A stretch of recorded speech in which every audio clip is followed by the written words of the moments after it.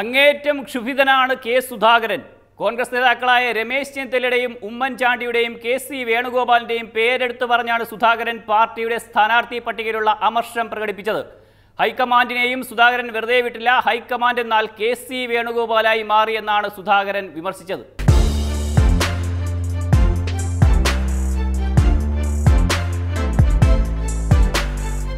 കോൺഗ്രസ് നേതൃത്വത്തിനെതിരെ രൂക്ഷ വിമർശനവുമായി M P K Sudhakaran. K P C C working president സ്ഥാനത്തിരിക്കുന്നത് ഇഷ്ടത്തോടെയല്ലെന്നും ഈ സ്ഥാനത്ത് തുടരുന്നത് പാർട്ടിക്ക് മുറിവേൽക്കാതിരിക്കാനാണെന്നും സുധാകരൻ പറഞ്ഞു.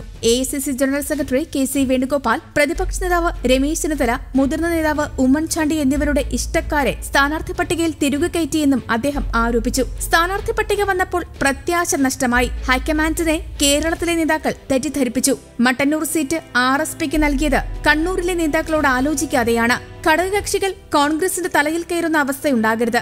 ഘടകകക്ഷികളെ നിയന്ത്രിക്കുന്നവരാകണം കെ പി സി സി നേതൃത്വത്തിൽ ഉണ്ടാകേണ്ടതെന്നും സുധാകരൻ പറഞ്ഞു. തീരുമാനമെടുക്കുന്ന നേതാക്കന്മാരുടെ ഭാഗത്താണ് പ്രശ്നം. ഞങ്ങളുടെ പ്രവർത്തനങ്ങളെയും അഭിപ്രായങ്ങളെയും മാനിക്കാത്ത സമീപനമാണ് സ്ഥാനാർത്ഥി നിർണയത്തിൽ നിർണയത്തിലുണ്ടായത്. ഗോപിനാഥിന്റെ പ്രശ്നം പരിഹരിക്കാൻ തുടക്കത്തിൽ തന്നെ സാധിക്കുമായിരുന്നു. അതിനു മെനക്കെടാൻ നേതൃത്വത്തിന് സമയമില്ല. ലതിക സുഭാഷിന്റെ വികാരത്തോട് എല്ലാവരും ഐക്യപ്പെട്ടു. അവരുടെ ആവശ്യം ന്യായമാണെന്ന തോന്നൽ എല്ലാ പ്രവർത്തകരിലുമുണ്ട്. അവരെ കുറ്റപ്പെടുത്തിയിട്ട് കാര്യമില്ലെന്നും സുധാകരൻ വ്യക്തമാക്കി. കോൺഗ്രസ് വിട്ട P C Chacko N C പിയിലേക്ക് ചേക്കേറുന്നു. എൻ സി പി ദേശീയ നേതൃത്വവുമായി ചർച്ച നടത്തിയ ശേഷം കേരളത്തിൽ ഇടതുമുന്നണിക്കായി പ്രചാരണത്തിനിറങ്ങാനാണ് ചാക്കോയുടെ നീക്കം. കോൺഗ്രസിലെ അസംതൃപ്തരെയും ചാക്കോ കൂടെ കൂട്ടിയേക്കും. കോൺഗ്രസിൽ നിന്നും രാജിവെച്ച മുതിർന്ന നേതാവ് P C Chacko N C പിയിൽ ചേരുമെന്ന് സൂചന. എൻ സി പി ദേശീയ നേതാവ് ശരത് പവാറുമായി ചാക്കോ കൂടിക്കാഴ്ച നടത്തും.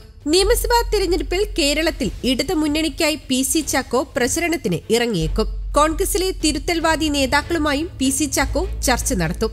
കോൺഗ്രസ് വിട്ടതിന് പിന്നാലെ ചാക്കോയെ പാർട്ടിയിലേക്ക് ക്ഷണിച്ച് എൻ സി പി സംസ്ഥാന അധ്യക്ഷൻ ടി പി പീതാംബരൻ നേരത്തെ രംഗത്തെത്തിയിരുന്നു.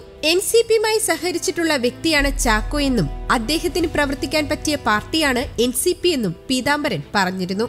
ഡൽഹിയിൽ കേരളത്തിലെ നിയമസഭാ തിരഞ്ഞെടുപ്പുമായി ബന്ധപ്പെട്ട സ്ഥാനാർത്ഥി നിർണയ ചർച്ചകൾ പുരോഗമിക്കുന്നതിനിടെയാണ് പി സി ചാക്കോ കോൺഗ്രസ് വിട്ടത്. നിയമസഭാ തിരഞ്ഞെടുപ്പിലെ സ്ഥാനാർത്ഥി നിർണയത്തിലെ കടുത്ത എതിർപ്പാണ് രാജിക്ക് കാരണമായത്. ചാക്കോ ദേശീയ അധ്യക്ഷ സോണിയാഗാന്ധിക്കും രാഹുൽ ഗാന്ധിക്കും രാജിക്കത്ത് സമർപ്പിക്കുകയായിരുന്നു. ഹൈക്കമാൻഡിൽ ജനാധിപത്യമില്ലെന്നും പലതവണ കോൺഗ്രസിലെ പ്രശ്നങ്ങളെക്കുറിച്ച് പരാതിപ്പെട്ടിട്ടും പരിഹാരമുണ്ടായില്ലെന്നും അദ്ദേഹം ആരോപിക്കുകയുണ്ടായി. വി എം സുധീരനും താനും പലപ്പോഴും കോൺഗ്രസിലെ പ്രശ്നങ്ങൾ ചൂണ്ടിക്കാട്ടിയിട്ടും നേതൃത്വം ഇത് പരിഗണിക്കാൻ തയ്യാറായില്ലെന്നും അദ്ദേഹം വിമർശനമുന്നയിച്ചു. കേരളത്തിൽ ഗ്രൂപ്പ് അടിസ്ഥാനത്തിലാണ് സ്ഥാനാർത്ഥികളെ തീരുമാനിക്കുന്നത്. മറ്റൊരു പരിഗണനയും ഭാരവാഹിത്വത്തിനോ സ്ഥാനാർത്ഥിത്വനോ നൽകാൻ ഗ്രൂപ്പ് നേതൃത്വം തയ്യാറാവുന്നില്ല. സീറ്റുകൾ എ ഗ്രൂപ്പും ഐ ഗ്രൂപ്പുമായി വീതം വെക്കുകയാണ് ഇവിടെയെന്നും ചാക്കോ ആരോപണം ഉന്നയിച്ചു. കോൺഗ്രസിന് ഉന്മൂലനം ചെയ്യാൻ കഴിയുന്നത് ബി ജെ പിയുടെ കഴിവുകൊണ്ടല്ല എന്നും ദേശീയ നേതൃത്വത്തിനെതിരെ കത്തു നൽകിയവർ തന്നെ സമീപിച്ചിരുന്നുവെന്നും എന്നാൽ താനതിൽ ഒപ്പിടാൻ തയ്യാറായില്ലെങ്കിലും അവർ ഉന്നയിച്ച പ്രശ്നങ്ങൾ ശരിയാണെന്ന് തനിക്ക് തോന്നുന്നതെന്നും പി സി ചാക്കോ പറയുകയുണ്ടായി. News desk Kerala Kaumudi.